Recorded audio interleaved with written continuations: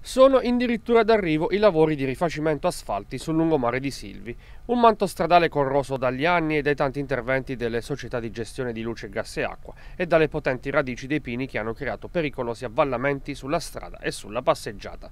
Per finanziare la realizzazione, l'amministrazione ha fatto ricorso ad un mutuo di 1.500.000 euro, un'opera attesa da anni sia da residenti sia dalle numerose famiglie che ogni anno scelgono la città come meta per le vacanze estive. Ancora qualche giorno per finire il primo intervento asfalti, un piano asfalto importante, tutto il lungomare e la zona nord la zona sud e qualcosa anche all'interno. Naturalmente stiamo già ipotizzando un secondo progetto dove andremo a completare le aree che non, sono, non verranno interessate da questo piano asfalti.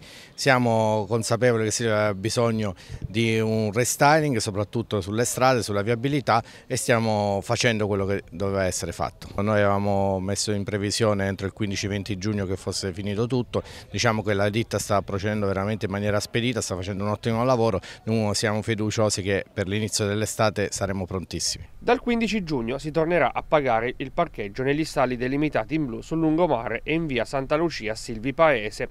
Per un'ora o frazione si pagherà 80 centesimi e per le successive ore 80 centesimi.